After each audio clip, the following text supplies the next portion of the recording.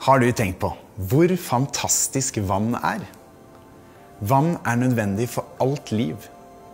Her i Oslo kommer 90% av drikkevannet fra Maridalsvannet. Det kommer fra råvann fra snø og regn i nedbørsfeltene i Marka. Hver og en av oss bruker ca. 160 liter vann hver eneste dag. Det tilsvarer 1,5 Maridalsvann i året. Så det er viktig å ikke sløse. Mindre enn 1% av alt vannet på hele jorden kan brukes som drikkevann. Vi i Norge er heldige. Vi har mer råvann enn mange andre land.